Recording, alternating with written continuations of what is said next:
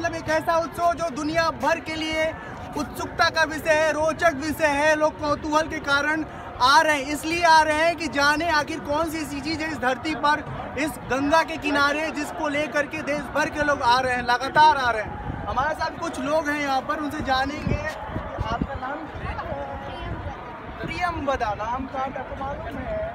क्या है?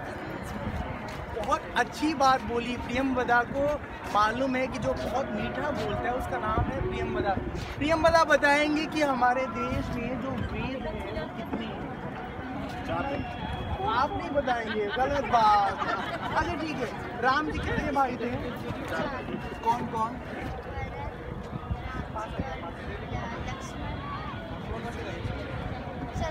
तालियाँ!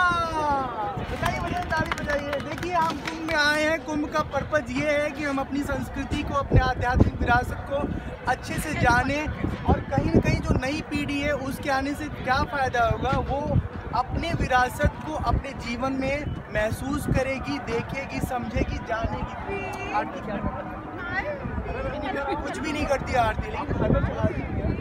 घर चलाती हैं आरती और मस्त रहती है? बहुत बढ़िया उधर देखिए। बहुत बढ़िया तो इनको लग रहा है कि काश हम रोज आते। प्रतिष्ठा का मतलब क्या है? हाँ जो जो आपका आपका जो प्रतिष्ठा मतलब जो स्टेबिलिटी होती है, उसको कहते हैं प्रतिष्ठा। तो जीवन में हमारा स्थायित्व तो होना चाहिए।